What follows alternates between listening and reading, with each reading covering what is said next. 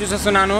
Movie అయితే చాలా చాలా బాగుంది. ఇచ్చి పడేసిండు భయ చాలా చిన్న డైరెక్టర్ చిన్న హీరో అనుకున్నాం కానీ ఇది ఒక పాన్ ఇండియా వరల్డ్ మూవీ నాకైతే మూవీ చూసేంతవరకు తెలియదు అన్న. మూవీలో చాలా విశేషం ఉందన్న.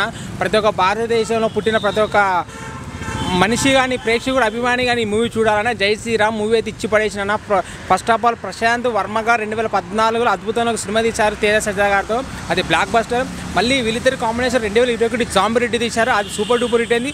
మళ్ళీ రెండు వేల ఇరవై ఇరవై నాలుగు సంక్రాంతికి మూడోసారి ముచ్చటకు వచ్చి హ్యాట్రిక్ కొట్టారు భయ ప్రశాంత్ వర్మ అంతే తేజ సజ్జా. తేజ సజ్జా అంతే ప్రశాంత్ వర్మ నెట్ వీళ్ళ కాంబినేషన్ కుదిరింది.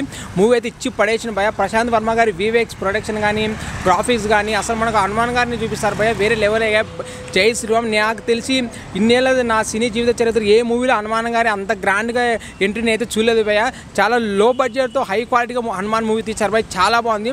First of all Teja Sajja garu acting వేరే నెక్స్ట్ పీక్స్కి వెళ్ళిపోయాడు భయ ఆయన ఇప్పుడు చిన్న హీరో కాదు ఒక పాన్ ఇండియా స్టార్ లెవెల్లో యాక్టింగ్ చేశాడు భయ ఆయనకి హ్యాట్స్ ఆఫ్ భయ మూవీ అయితే చాలా చాలా బాగుంది ప్రతి ఒక్క ఇండియన్ ఈ హనుమాన్ మూవీ చూడాలి భయ మూవీ అయితే ఇచ్చి పడేసిన భయ చాలా చాలా బాగుంది.